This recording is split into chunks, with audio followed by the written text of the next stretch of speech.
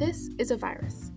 Viruses, like influenza, are so powerful because they can spontaneously self assemble from individual components of nucleic acids and proteins into fully formed viruses. In fact, if you put viral DNA and proteins into a beaker and shook with some random motion, you'd get a virus.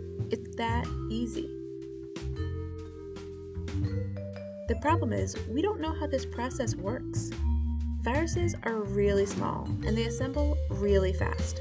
So, researchers from SEAS took a page from telecommunications and designed a new optical fiber with a channel smaller than a wavelength of light running through the center.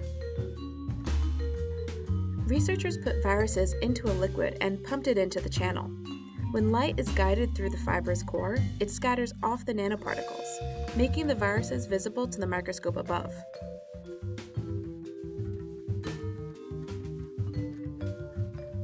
Our researchers have been able to track and observe individual viruses using this system. The next step is to track single viral proteins, which scatter up to a thousand times less light than a single virus.